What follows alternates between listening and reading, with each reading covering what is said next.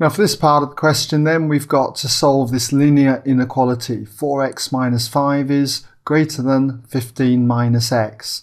And to do something like this all you need to do is add x to both sides. So we're going to get 4x minus 5 plus x is greater than just the 15.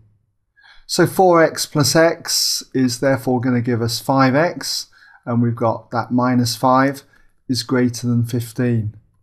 Now I need to just add 5 to both sides and we end up with 5x is greater than 15 plus the 5.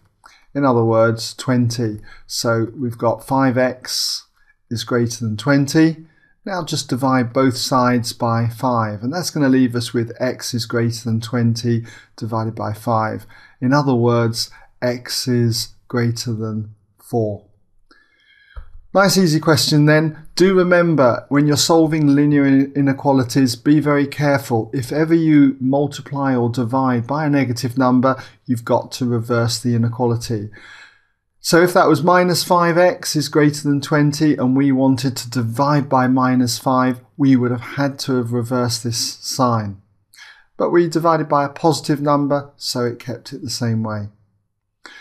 Okay, so if you want any further help with solving linear inequalities, just check out the website and uh, look under linear inequalities and you'll find plenty of examples there.